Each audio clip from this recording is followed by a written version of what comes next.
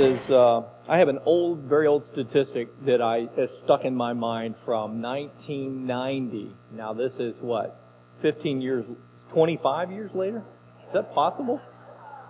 That in around 1990, I heard this statistic that in in uh, in the People's Republic of China, that 60,000 Christians a day, 60,000 people a day are coming to know Christ. Yeah, I said that right. A day. that is probably the greatest revival the world has ever seen. I don't know how to measure that any other way. But God is doing His beautiful will in the hearts of people around the world. And uh, in our country, you look at our country sometimes and you say, wow, our country is doing so poorly. We're going in the wrong direction, perhaps. And yet we find that not only in places like China and Korea and places like that around the world, but also back in the Roman Empire from which we're going to read today, the Roman Empire was a hostile situation. It was anti-Christian.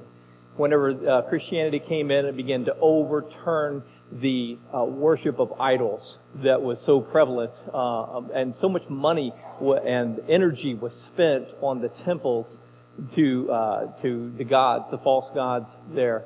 And Christianity came in undercutting and undermining all of that because of the faith message, and it was not received uh, happily in places. But yet the gospel of Jesus Christ has gone forth powerfully and even under hostile conditions many times grows faster than when we're comfortable. So I wonder, does God leave the burner on just a little bit? Does he heat up the, the persecution just a little bit in us and in our lives to try to prompt us to, to do a little more for his kingdom than maybe when we're very comfortable and have everything we need?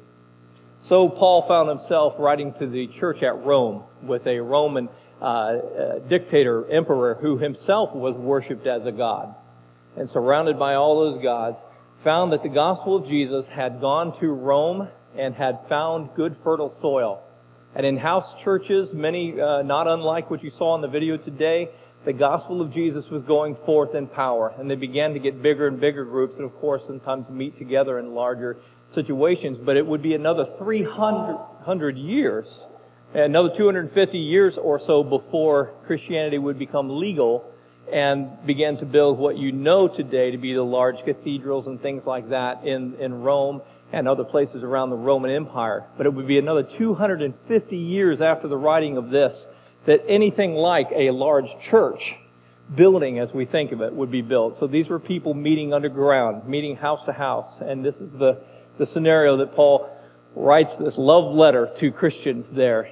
And he begins, uh, we talked about himself being a, a servant, a doulos, uh, in the first uh, part of this chapter. And then last week talking about the greeting, which included grace to you and peace from God our Father and the Lord Jesus Christ. Themes that would be repeated throughout the rest of the New Testament. Grace, the giving uh, givingness of God to us, the blessings of God to us that we did not and could not earn. Grace and peace, therefore, with God. Peace because of the blood of Jesus that was shed for our sins that allowed us to be able to reach out to God where we could not before because he was already extending his hand of love toward us through Jesus and through the work of the cross. And so he, we talked about that and then we pick up here I'm going to begin again in verse uh, 7. Is it coming up? No, verse 8. Paul says, I thank my God through Jesus Christ for you all that your faith is spoken of throughout the whole world. Man, wouldn't that be cool if this was not the letter of Paul the Apostle to Rome, but rather Paul the Apostle to Rocket Town? Wouldn't that be kind of cool for him to say in verse 8 to us? First, I thank my God through Jesus Christ for you all that your faith is spoken of throughout the whole world oh, that our faith would be so well spoken of that it would be talked of throughout the world. How does that kind of thing happen? It happens because of reputation. How does reputations begin? Because of actions and continuing actions that are picked up on. Let us have the reputation of being people of faith people who believe in praying for people who are sick and seeing them healed, who believe in praying for our friends and neighbors who don't know Christ and see them saved and baptized and begin to have their lives turned around, people who are lost and stuck in addictions, who themselves are broken, oh, free from those addictions and are free to walk in His, in His light. By the way, uh, one of the announcements that didn't make it is we have a recovery meeting tomorrow night, Breaking Chains at 7 o'clock upstairs. uh, is that right upstairs? And uh, please come and be part of that if you'd like to take part in that. I thank my God through Jesus Christ that your faith is spoken of throughout the whole world. And then verse 9 says, For God is my witness. God is my witness. You know, that's the way we usually say that. For God is my witness, whom I serve with my spirit in the gospel of his Son, that without ceasing I make mention of you always in my prayers. A good example to us that without ceasing, the Bible says, pray without ceasing, Paul says in one other place. Does that mean you never stop mumbling words out of your mouth? It can mean that. It certainly can mean that in an attitude of prayer that your heart is always saying, always saying, yes, Lord, lead me, Lord, guide me, Lord. These things. But he says, without, without uh, fail, that he can, without ceasing, he continues to make mention of you always in my prayers. But I don't want to miss one good little golden nugget right here at the beginning of this chapter where he says, God is my witness, whom I serve with my spirit in the gospel of his son. Is he just wordy? Well, he could be pretty wordy. I'm telling you. But he was also wordy under the, under the inspiration of the Holy Spirit. And in his wordiness, Paul said something very important that I don't need to skip over here. And he said this, that God is my witness whom I serve with my spirit in the good news or gospel of his son. We will utterly fail at everything we do in our Christian life if we do not do it in the spirit. Now, as we begin to continue to talk about righteousness, justification, and all kinds of big $5 words that are Christianese throughout this message and throughout the messages to come, I need you to understand that all of those things are pointing to the same thing over and over. Jesus, the Son of God, the Spirit of Christ, who does everything of any use through His power. Say His power. His power, not my power. That's what this is all about. If you try to be good under your own power, you will fail. But if we try to be good using Him to be our power, then we will succeed. And no matter how hard we try, no matter how much or good is our attitude, we will continue to fail if we do not walk in the Spirit. And we'll have a lot more to say about that in days to come as we work our way through the New Testament. He says, so he says, in my, I, I serve God with my spirit in the gospel of the Son, making mention of you always in my prayers. Verse 10, making request, if by some means now at last I may find a way in the will of God to come to you. What does that mean? That, what that means is he was writing this letter from Corinth, not from Rome. You don't write letters to the same city you're in usually. You just deliver them. So he was in Corinth, which is over in Greece, and he was writing to Rome, which is in Italy, right? And he was writing this letter to the Romans, and he says, I sure want to come see you. I haven't been there yet. I wasn't the one who started the work there. We don't know who started the work there. Maybe some Christians that were saved at some other church settled there and they uh, ended up starting that church. But Paul longed to be able to go and visit that church and, and bestow some spiritual blessing to them, as he says. He says, if I could just get there. You know what? I'm glad he didn't at first. He eventually made it to Rome, of course. But he didn't get there at first and because of that, God used the circumstances he was in to write this letter. You know what I mean? He couldn't be there to speak it in person, and if he had, the words would not have been recorded for us. And yet the Holy Spirit in His wisdom saw that He should write this letter to work circumstances in His life in a very frustrating way for Paul, perhaps, that he could not get to where he felt he wanted to go. And he even felt that getting there to Rome was something that God wanted him to do, or that would be good for the gospel, it would be good for the church. And yet God somehow couldn't figure out how to make that happen. No, I'm sure Paul didn't have that attitude. I might. You know what I mean? I'd be like, come on, God. You know, I know you can do anything. Can you, can you work these circumstances out? It just seems to keep working against me. What is going on? Well, what was going on that we couldn't see and perhaps Paul couldn't either is that God wanted him to write this letter so that we could enjoy this even today. But be careful what you ask for. um, and let me show you Acts chapter, well, first of all, let's look at this verse again, verse 10. Making request, asking God. If by some means, God somehow, at last I may find a way in the will of God, which is important, to come to you. Do you know that Paul found a way finally in the will of God to come to Roman? Let me show you where. Acts chapter 23 and verse 11.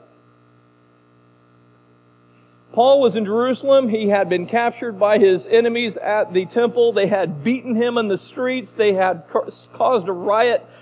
And he was in danger of his life, had been rescued by the, the Roman soldiers in the area, had been brought to um, a place to stand, not trial, but answer for the charges that were against him. What are you so angry at him about? And he had been beaten and put to, to jail for the night, put in a cell for the night. And in verse 11 it says, But the following night, Paul says, he said, excuse me, the, uh, the writer of uh, Acts says, But the following night the Lord stood by him and said, Be of good cheer, Paul, for as you have testified for me in Jerusalem, so you must also bear witness at Rome. Now, Paul had written the letter from Corinth to the Romans weeks or months before this happened. Some time before. Well, finally, Paul's answers, uh, prayers were being answered. Woohoo!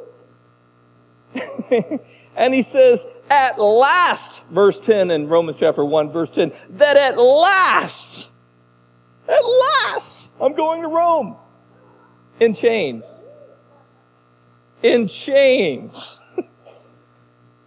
the will of God accomplished through your life may not look appealing the will of God accomplished through your life may not be comfortable. The will of God accomplished through your life may not be fun, but it is always good. Let me challenge you as a Christian to sign up for what this gospel of Jesus really is all about. This faith is all about. It really is about living by faith, not seeing where your next meal's coming from, not seeing where your healing's coming from, not being able to be even see heaven, which is supposedly promised to you in His Word, and yet standing in that faith and continuing in the hardships of this life with your eyes on the goal, believing that God who created this world and gave you new life is going to continue and finish the work that He began in you. He will begin what he began, he will finish in you. And Paul had that kind of faith. And sometimes we find ourselves following those footsteps of Paul saying, Ooh, I just can't wait to be able to go do this thing. God, can you please do this thing for me? Can you please do this thing for me? And then finally you get into it and you say, Whoa, I, I, this isn't how I planned for it, God. There's a mortgage that goes with that house. There's payments for that car. There's a car paid for doing the will of God. Yeah, sometimes there is. And I cannot promise you that you will see reward on this side of the grave. Now, sometimes you will. But I can promise you that God keeps score. And the calling of this ministry to you today is not just to be able to be a, a, a fire escape out of hell, but to begin a life of faith that transforms an attitude of the mind that says, what's in it for me? And slowly but surely, as you continue to come and hear the word, that he transforms you into somebody who says, what's in it for him? And that some weird way, God makes you happier doing his will than you were ever before doing your own. That's an amazing thing that God does in our hearts. Finally, at last, I can find a way in the will of God to come to you. Woohoo! For I long to see you, Paul says in verse 11, that I may impart some spiritual gift so that you may be established. Now, just far as teaching for a little bit, I want to educate us a little bit on, on spiritual gifts because the Bible speaks much about it and Paul speaks much about it and a lot more in 1 Corinthians, 2 Corinthians, and later. He says, I, I want to get close to you so that I can impart to you some spiritual gift so that you may be built up or established. Now, that kind of sounds like Paul had a gift that he had with him that he wants to give. Some kind of spiritual gift that comes from the hand of Paul. Where do all spiritual gifts come from? The Bible very, very clearly teaches they come from God, from the Holy Spirit of God. So let me show you another place Paul wrote in uh, 2 Timothy 1, uh, verse 6. Paul says to Timothy, he says, Therefore I remind you to stir up the gift of God which is in you through the laying on of my hands. He says, remember the gift you got when I laid hands on you and, and ordained you to ministry? So do you remember that time we prayed for you? Maybe you received the Holy Spirit for the first time, or you were receiving through that, that hands laying uh, uh, an anointing to go and do the uh, ordination for ministry. Do you remember that? It says, can I remind you to stir up that gift of God which is in you? Notice where's the gift come from? Of God. It's not the gift of Paul, is it? It's the gift of God, the Holy Spirit. He says, which is in you, and it got in you through the means, through the means of laying on of my hands. So does Paul impart the gift or does the Holy Spirit of God impart the gift?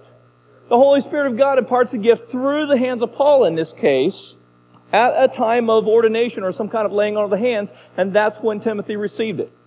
And so that'll become important later as we go through this thing that all the gifts of the Holy Spirit that are for the church come from the Holy Spirit to you often through the hands or a time where someone says, I want to be filled with the Holy Spirit. I want to, to be commissioned to do a certain work for God in the church or in any other way where a person says, I want to yield myself to God. Would you pray with me?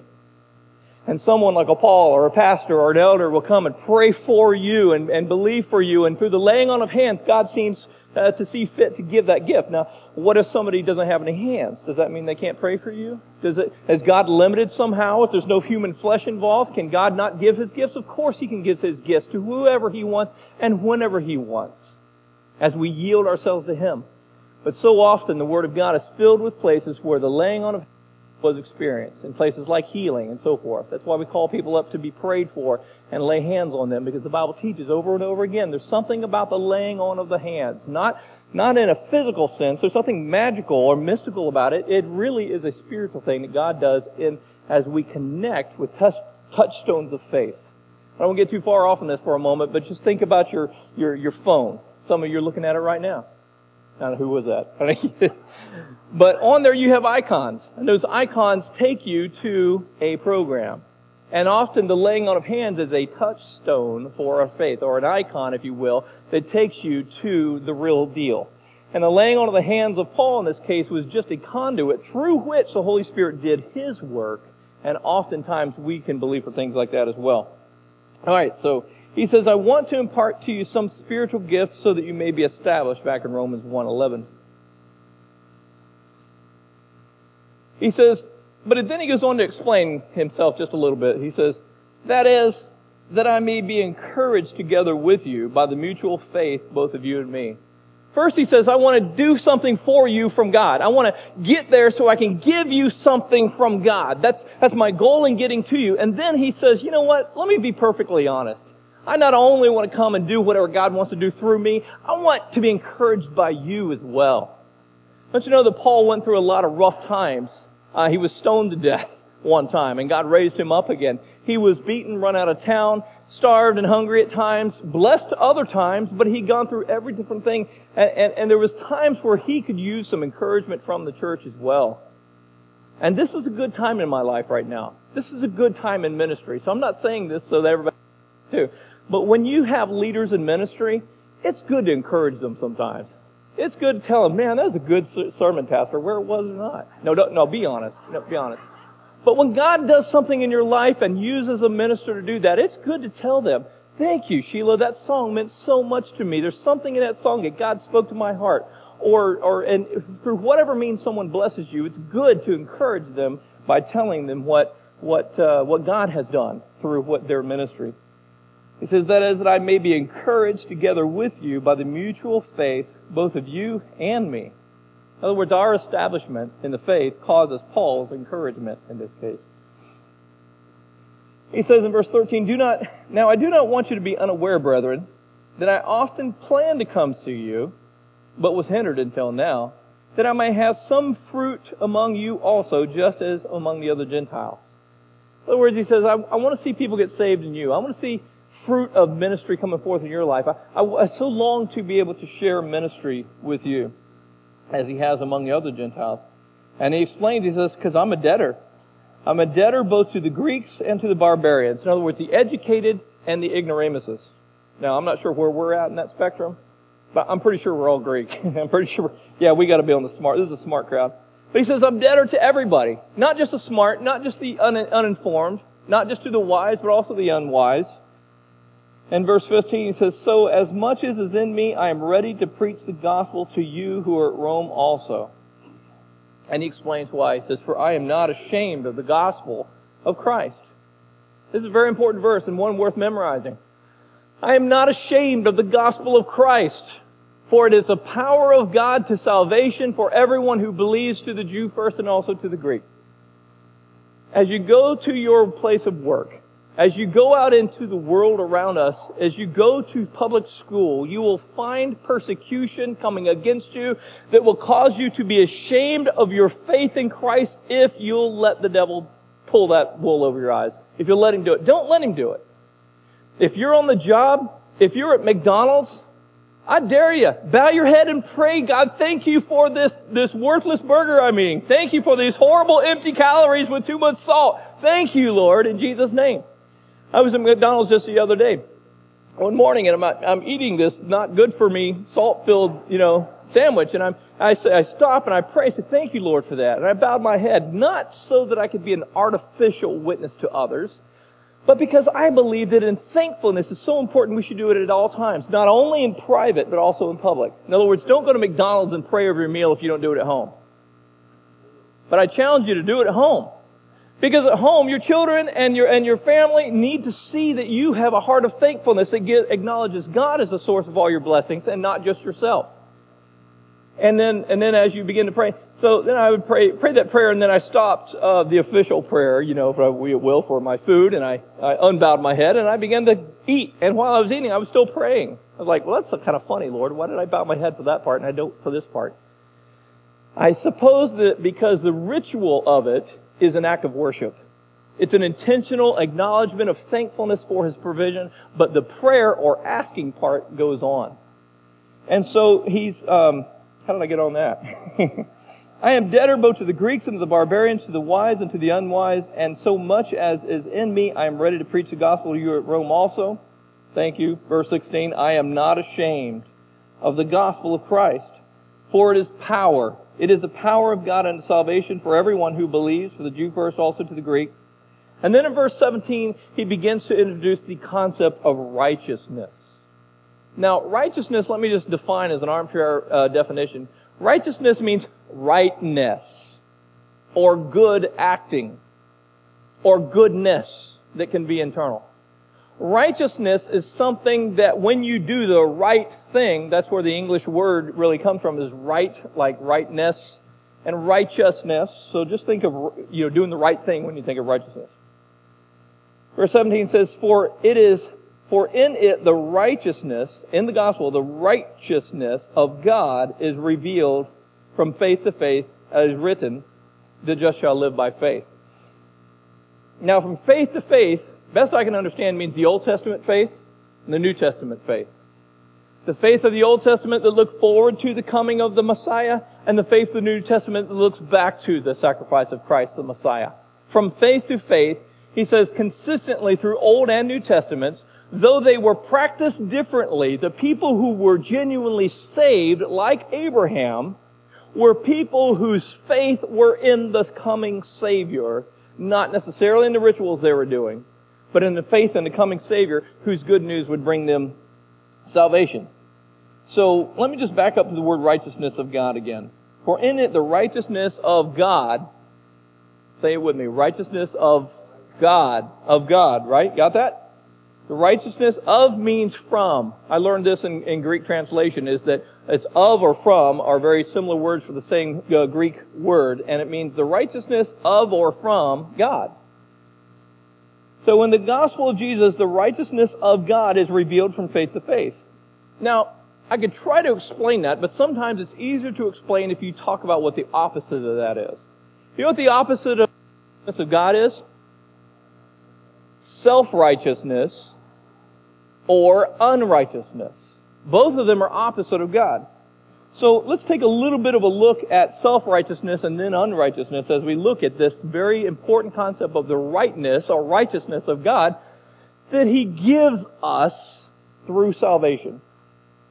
You didn't earn righteousness. It's something He gives us, the righteousness of God. So the righteousness of God is given, but, uh, but self-righteousness is found in chapter 2, verses 19 through 23.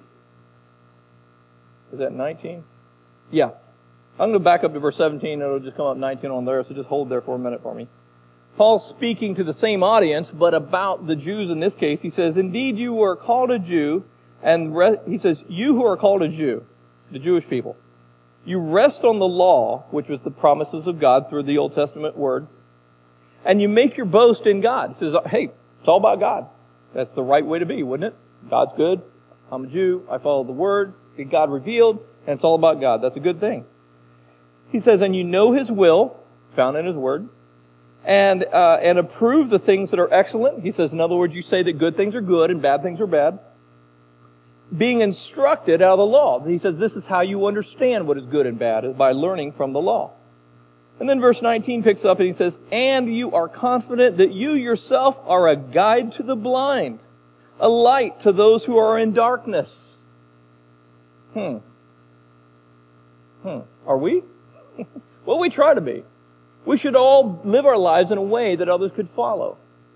But when you're following only the Old Testament law, the law was given so that man not could be saved, but could see how bad off and far from God he really was. He says, and so you think that you're a guide to the, to the blind and a light to those who are in darkness, an instructor of the foolish, a teacher of babes, having a form of knowledge and truth in the law. All those things are good says, You therefore who teach another, do you not teach yourself? You who preach that a man should not steal, do you steal? You who say, Do not commit adultery, do you commit adultery? You who abhor idols, do you rob temples? You who make yourself boast in the law, do you dishonor God through breaking the law? His point here is talking about, he was talking about how no one could keep the law. The fact is, we're all screwed up. You know what I mean? We're all, we're all messed up. We're all incapable of being good all the time. Is that pretty much a given for everybody? Any perfect people here? Yeah, yeah, right. Yeah, yeah, a couple, a couple of people. The rest of us, we're just imperfect. The truth is all of us are imperfect. None of us are able to do anything that is continuously, always righteous or good. So he says, here's a way to be saved. Be righteous. Here's a way to not be at enmity with God. Be righteous. Be righteous. How do I be righteous, Lord? Well, you do everything right. Well, how do I know what's right, Lord? Well, I've given you the law so that you would know what is right. And it's in your Old Testament. Read it, follow it, and if you do everything perfectly all the time, then you will be righteous. Now, if, I would say that theoretically, if you could do that, you would be self-righteous. Now, self-righteousness is a term we like to throw at other people as a, as a, as a, as a mean thing to say. Oh, you so self-righteous. Why do we do that? Why do we do that? Do we really think that telling people who are trying to do the, the right thing, that doing the right thing is a bad thing? Think about it. Why do we call people self-righteous? Whenever doing things yourself that are righteous is a good thing. Why do we do that? Now we all do it. That's right. Because what we really know is, is that you're really not self-righteous. You are not righteous in and of yourself because in all of us is the tendency to sin. And when any one of us says, um, to, to lord it over the other, and that's where the difference is, is when we begin to tell others how to be righteous. That is when you get the don't be so self-righteous attitude back. Is it right for us to be righteous? Is it right for us to do the right thing? Of course it is. Is it right for us to teach others how to be right with God by being, by doing the right thing? No. I mean, oh, it's good to, to, to, to exemplify that. It's good to model that. But we don't have the ability to say, you're all screwed up. You're all broken. And so now I'm going to teach you how to do the right thing and that will fix you. It won't fix you. That's what Jesus told about the Pharisees. He said, you're, you're the blind are leading the blind and you'll both fall in the ditch. He says, you think you are righteous because you're trying to follow the law. That's not a bad thing. It's a good thing to try to follow the law, but you cannot be good enough. You cannot be good enough. And when you begin to start feeling good enough, then you begin to start feeling self-righteous. And then you begin to teach others, do what I'm doing, look at me, watch how I'm doing, and you too can be righteous with God. You too can be self-righteous. And the crime of that is both will, will, will, will not be forgiven. We cannot be self-righteous. It is impossible. Theoretically, it is true. If we did everything perfectly from infancy, we could be self-righteous, but none of us have. We all screamed and stomped our feet and threw ourselves to the floor at mommy at two and three years old and said, no! The sin rebellious nature is built into us and cannot be stopped because we inherited it from Adam and Eve. The tendency towards sin is in us, and by the time our brain begins to understand the concept of self-righteousness, we have already failed to be so. We have already become lawbreakers even before we knew that there was a codified law to try to stand up to. Does that make sense? We're already bank robbers before we knew that it was illegal to rob banks. And so we need someone who is righteous. The righteousness of God is better than the righteousness or the self-righteousness of man. So the contrast is the righteousness of God is the gospel, the good news that says, you're screwed up, dude. You are totally lost. You think you're trying to teach others to be self-righteous. You're self-righteous yourself. You can't even keep up with what you're supposed to do yourself. It's, it's looking bad for you, dude. And God says, here's good news. The good news is, I'll be good for you. I will be good. I will come to this earth. I will live my life perfectly for 33 years. And then I will die for crimes that you committed that I did not. And I will allow all your shame and all your sin to be put on myself, Jesus says. And then I will suffer for you. I will be the one who is righteous. That's the righteousness of God that is the good news of the gospel that we can say, hmm, my self-righteousness isn't working out too well. I need your righteousness. I need the righteousness of God. So in the church, we're fairly familiar with this concept of the righteousness of God because we all agree that Jesus was perfect and never did anything wrong. And we also understand and are familiar with the idea of self-righteousness because we have so much of it in the church. By the way, do you know why we have so much self-righteousness in the church? Because we don't understand the righteousness of God. When we understand the righteousness which is from God, we surrender and we say, I will never again try to be good to please God. That takes a while. Because we inherently know that when we do bad, that brings the wrath of God, both for hell and for bad consequences in our lives. And so innately, we try to do the right thing all the time. And yet, the truth is, if, you, if we understand the righteousness which is from God, we throw up our hands and we say, I surrender. I will never again, listen to what I'm saying, I will never again try to please God by being good. That sounds so wrong, preacher. That sounds so wrong. Until you understand the concept that I will never again try to please God by being good, then you will never understand the goodness that He gave you from God. And here's the result. You will continue to work for your salvation even if you believe that it came from Him. You will try to be good. You will try to do the right thing. You will try to bless your neighbor. You will try to read your Bible. You will try to do things that please God. And when you fail, and you will, what is the result? Guilt. Gnawing away at you. Didn't, didn't, wasn't it true in Romans 8 1? Didn't we look at it last week that there is therefore now no condemnation to those who are in Christ Jesus? You know why he had to write that? Because we don't understand the righteousness of God. There is no condemnation for those who are in Christ Jesus. But there is plenty of condemnation to go around when you try to be good to please God. Now, Should we be good? Why should we be good? Should we do it to please God? No, we can't do it to please God.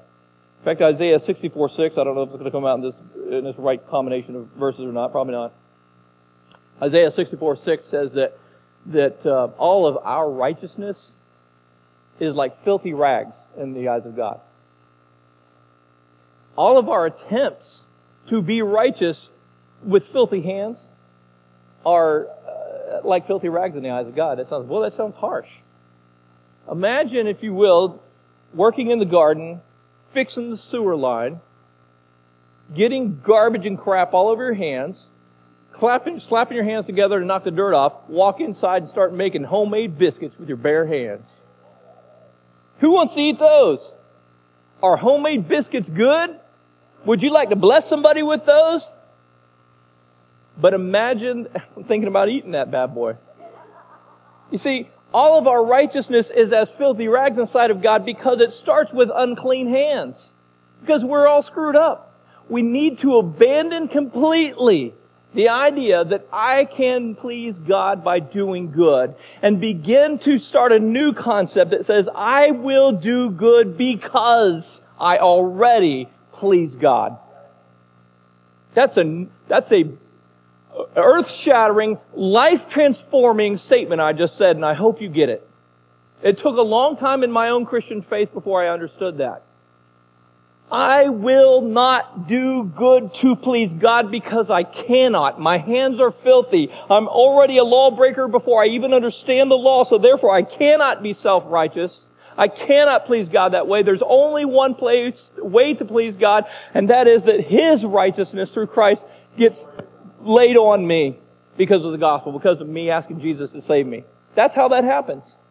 And then, and then, and only then, I start doing good because He's my daddy. Because He loves me, I do nice things as well. Because He loved me. Because He forgave me. Because I don't have to. I start doing things. You see, sometimes we get asked to do things and we don't want to do them. It's like my wife's like, can you give me some flowers every now and again? Can you give me a card or something? All right, here we go. I guess my wife asked me to get flowers, so now I don't want to. You know, nobody wants to do what they've been told to do. But when you do something out of love because you haven't been told to, then you can do it out of love. You know, some of sometimes us men need to be educated anyway, humble ourselves a little bit, and take some advice. Don't get me wrong. But the righteousness of God has made me and you clean. And don't let any self-righteous person in this church ever make you think you are anything but God's favorite. Everybody say, I'm his favorite. Say it louder. I'm his favorite. Say it like you believe it. I'm his favorite. How is it possible that you're his favorite? Some of you couldn't even say it. Some of you couldn't say it. You don't believe it. I cannot say I'm his favorite. That's ridiculous. I just kind of got saved because everybody else got saved. You know what I mean? I just kind of came in with the group. You know what I mean? That's not true. When he saved you, he made you clean. He made you righteous. And because of that righteousness, you are his favorite. There is nobody at the front of the line. Nobody at the front of the line. Nobody is ahead of you. You are his favorite. That's a great place to be. But when we try to be self-righteous, we fall to the bottom. We pick up filth again and we try to offer it to God. And He's like, I don't want that biscuit. You got nasty hands. Don't do that. But when we walk in the cleansing power of God in our lives, man, we're all equal. Doesn't matter whether you're new Christian, old Christian, Greek, or Jewish, Gentile, smart, dumb, educated or not, we're all the same at the foot of the cross. And until you believe that is true, you will continue to have guilt rule your life instead of the grace and righteousness of God. All right, so we talked about the righteousness of God and the righteous and the and the self-righteousness that comes from from uh, from ourselves. And now we're going to just close this out in just a few minutes. Got several verses and won't be in them long. About another contrast to the righteousness of God called the unrighteousness of men. Now we talk about the right, righteousness of God. That means He was right. He was good for us. We talked about self-righteousness, and that is our attempt to be good. And then there's those who choose not to attempt to be good. They say, I can't live up to that standard. That church is full of hypocrites anyway. I'm not even going to try. I'm going to rebel against God and live in unrighteousness. In other words, I'm not attempting to be righteous in self-righteousness. I'm not accepting the righteousness of God that He gave me. Instead, I'm going to be unrighteous because at least I can rule my own destiny. At least there's a little bit of pleasure in sin for a season. But you know what? The end of that is destruction as well. And it's still the opposite of the righteousness of God. And so Paul illustrates how ugly that can become in the rest of the chapter. He says, For the wrath of God is revealed from heaven against all ungodliness and unrighteousness of men who suppress the truth in unrighteousness. Now, before I go any farther, and I want you to stay with me on this, I've got just a few things. There are four things that Paul says. Who is the righteousness, who is the uh, wrath of God against? The wrath of God is revealed from heaven against all unrighteous people? It doesn't say that.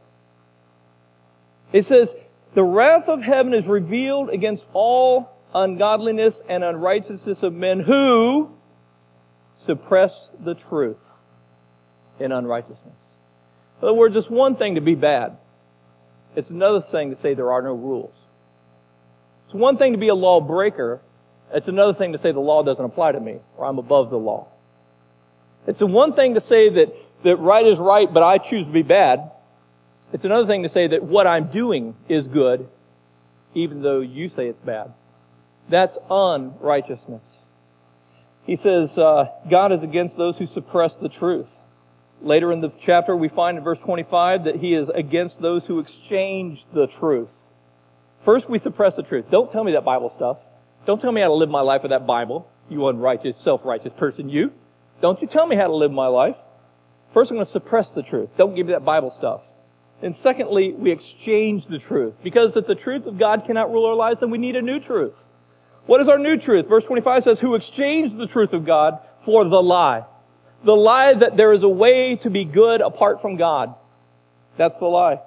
And in the last verse of that chapter, he says, who knowing the righteous judgment of God that those who practice such things destroying are deserving of death not only do the same, but also approve of those who practice them. So he says the unrighteousness of man causes you to suppress the truth, say, don't bother me with that Bible stuff. It causes us to exchange the truth for some other truth, like, I'm just going to decide what truth is for me. That may be your truth, but this is my truth. And there really is no such thing. There's only one truth, and that is the absolute truth of God's Word. And then so we, we suppress the truth, and then we uh, exchange the truth for the lie, and then we do the things that are wrong, and then finally the end of the result of that is, I need company. I'm going to prove you if you do wrong too. So I need to create a society that says right is wrong and wrong is right. So that when I do what is wrong, then I'll feel comfortable. And I'll make you the bad guy when you say anything else. I will approve of those who practice lawlessness. And then he just illustrates that. I'm just going to read the text so that we can move on to chapter 2 next week. Verse 19 says, Because what may be known of God is manifest in them, for God has shown it to them. For since the creation of the world, his invisible attributes are clearly seen, being understood by the things that are made, even his eternal power and Godhead, so that they are without excuse. You know what? I just feel like the Holy Spirit wants me to stop right here. The truth of right, we're going to finish this next week. The righteousness of God is what he's been speaking through me today. I want to invite you today, if you have never experienced the righteousness of God in your life, I want you to experience that today. There are two ways to experience that. First of all, maybe you're a person who has never accepted forgiveness from God before. Maybe you never heard of God. Maybe you've heard of God, but you didn't know anything about God. And maybe today you heard that God sent His own Son, Jesus, to die on a cross for your sins and my sins, the wrong things that you've done and the wrong things I've done, and you would like to accept His forgiveness, His righteousness for you, for your own sins, so that you can be forgiven from God, so that you can be at peace with God.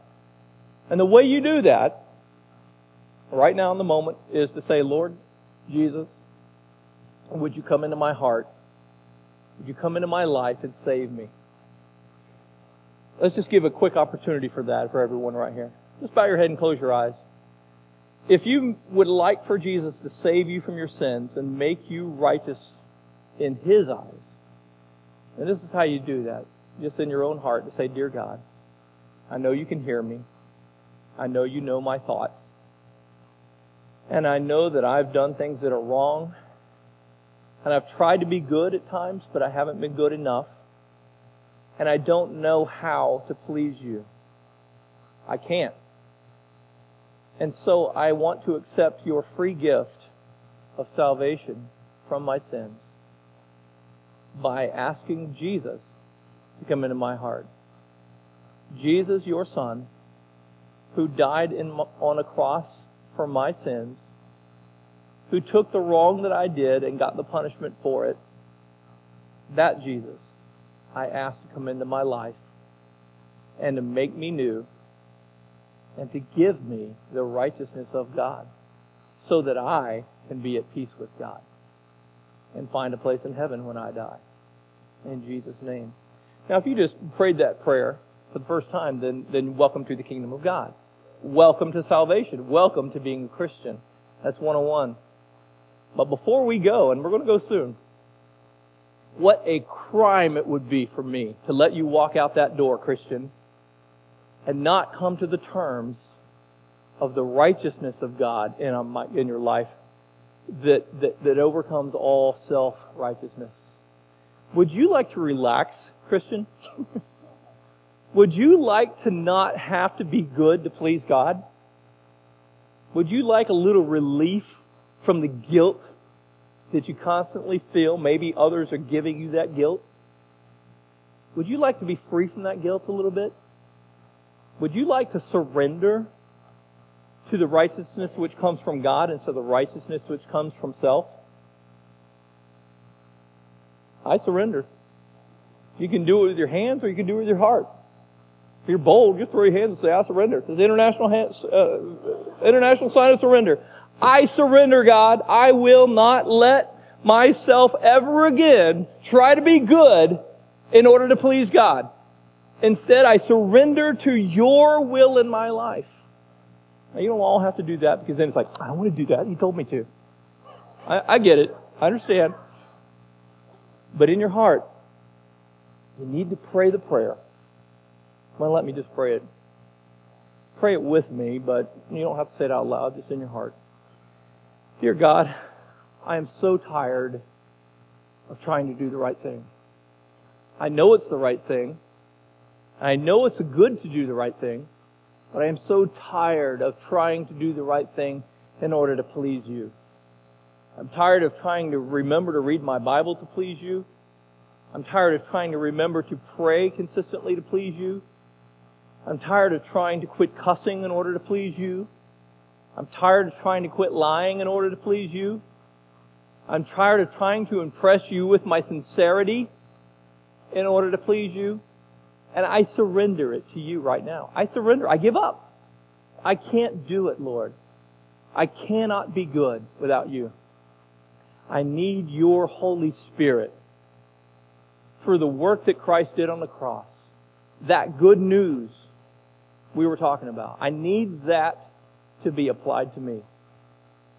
I need the righteousness which comes from God to be revealed to me. Help me understand how good you've made me. Help me understand how you see me, God. Help me to understand that you do not see me as a filthy, rotten sinner. Help me believe that you do not see me as a failure. Help me, Lord, to see myself the way you see me. Help me to see myself the way through the eyes that you have. And help me receive fully in my whole being the righteousness of God that means I don't have to try to be good anymore. And to be okay with that, without any yeah buts, without any mental wait a minutes, but just to say, I don't have to be good anymore because Jesus was good for me. And be okay with that. Lord, we fight so hard to not be labeled something of the failure. And yet, Lord, all of us have failed before you. And yet, all of us who have received Christ are seen as perfect in your eyes. Forgive us for leading others in self righteousness. Forgive us for trying ourselves to be self righteous, because that works against the gospel, the good news of the righteousness of God. Would you forgive me, Lord, for trying to be good enough? What a waste of your time and mine. But Lord, I pray that as I'm broken and humbled and surrendered to you, that in this state I would begin to do good works, not in order to please you, because I already do, but because I love you, because I want to, not because I have to. Help me, Lord, to do good things, to say things right, to stop cussing, to do good works, to help little old ladies across the street, or whatever you want me to do, God. Help me to do it because I love you. Help me to read my Bible because I love you. Help me to pray because I love you and want to foster that relationship. Help me to do it because I love you and to not condemn myself when you yourself have not condemned me. Forgive me for raising myself up as a judge higher than God. Forgive me, Lord, for declaring myself to be unrighteousness when you have already declared me to be righteous because of the work of the cross. Lord, I pray that the truth of this righteousness of God would crystallize in our minds and our thoughts. Help us to ponder it this week. Help us to think about it. Help us to continue to come back to it. And may we be a free people, free from the bondage of trying to be good enough. So that we're free to be able to love you and serve you out of a love affair instead of out of obligation. Help us get that concept, we pray in Jesus' name. Amen. Wood, it's time to get us out of here. So we're going to get you out of here with blessing. First of all, don't forget prayer meeting at 6.30 if you'd like to come and pray for the church, pray for our city. 6.30 right here. Secondly, you're hungry, right? There's a chimichanga dinner waiting out there with your name on it. If you would like to support the uh, food pantry, uh, feel free to buy uh, one of those uh, chimichanga dinners. We're certainly going to do it for our family. Hope you can do the same. And thirdly, let me send you the blessing. May the Lord bless you and keep you. May make his face to shine upon you. May he lift up his countenance upon you and give you peace. In other words, his happy face at you makes you relax. or you are blessed in the city, you're blessed in the field, you're blessed when you come and when you go. You are not dependent on your own righteousness, but you are dependent on His righteousness. May it be so in your life. And if the Lord is on your side, who should you fear? For who is like the Lord? Amen. Go in His righteousness this week. God bless you.